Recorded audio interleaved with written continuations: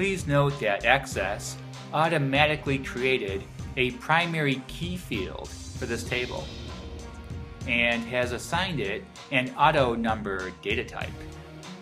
We'll see how this field works as we create and use this example database. We'll begin this section by clicking inside the second field name box. And then we'll type in first name.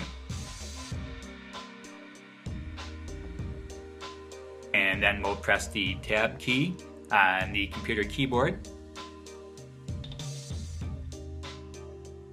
The default text data type is A-OK for this field. So we'll press the tab key on the keyboard two times.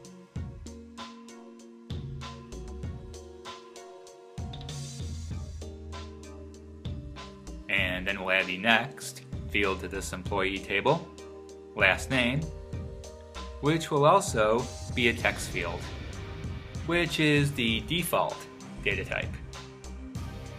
Next, we'll press the Tab key two more times and add a Social Security number field, which will also be a text field, as this field will contain dashes.